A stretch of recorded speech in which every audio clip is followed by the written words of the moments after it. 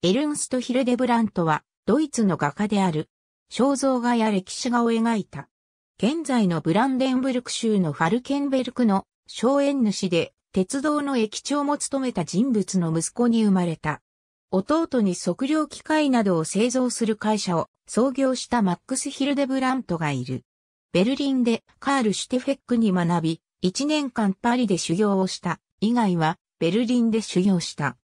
1875年にカールスルーへの美術学校の教授に任じられ、1880年からはアントン・フォン・ベルナーの推薦でカール・グッソーの公認としてベルリンの美術アカデミーの教授に任じられた。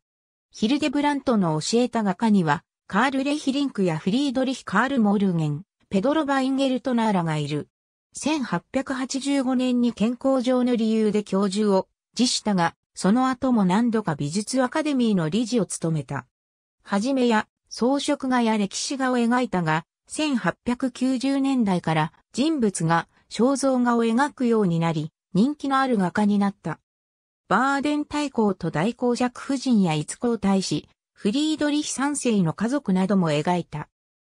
1898年に赤州勲章を受勲した。ありがとうございます。